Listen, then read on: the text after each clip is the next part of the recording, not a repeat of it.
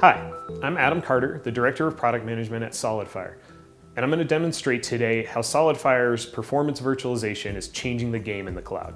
First, we want to look at a system here that's an example system of a SolidFire five node cluster. This is about the size system that we'd do a proof of concept on. It's around 60 terabytes usable and about 250,000 IOPS. What we've done here is shut off our quality of service for the moment to show what's wrong with all the traditional storage arrays in an environment where you have multi-tenancy and lots of applications. Notice we're completely maxed out on performance. We're utilizing 100% of the performance capabilities of this system. In this state, we cannot add any more tenants, and every tenant feels the noisy neighbor effect from each other. So the end result is tenants feel poor performance in this environment and are asking to be moved to a new, faster system. So I can no longer make any more profit off of this array. I've got to move tenants off of it. So now let's take SolidFire's performance virtualization into effect. We're going to turn on quality of service, and in this example, we've made up four pretend tiers we're going to move everybody into.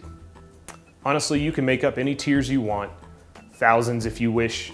You can customize performance per application. You can even expose the control over performance right to the end user if you wish, however you feel like doing it for your services. But in our four example tiers, now that everybody's been set in their tier, notice first of all that we've got a bunch of applications running exactly where we set them to be. So now all of these tenants are happy.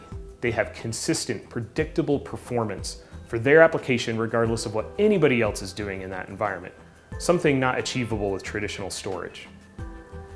Also notice that I now have capacity in my system to add more tenants because I have more performance available. I'm no longer 100% utilized.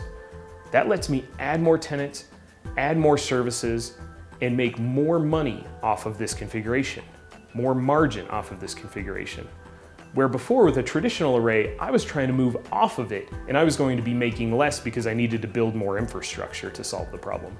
In a SolidFire system, this quality of service is not based on simple tiering or migration of data.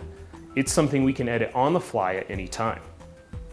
In any other storage system, when you try to change performance profiles or change tiering, you now have to do a data migration, wait for it to complete, and feel the performance impact in between.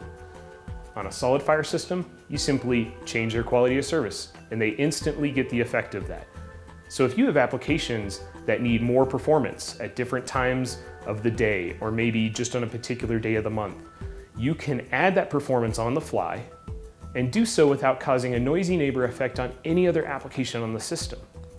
So now you're capable of providing services that were before impossible with other storage systems, and not even possible for the enterprise customers or cloud service customers to do themselves with dedicated arrays. The result of SolidFire's performance of virtualization is a high performance, high scalability, high efficiency system that allows for predictable performance of thousands of applications in a way that no storage system could do before.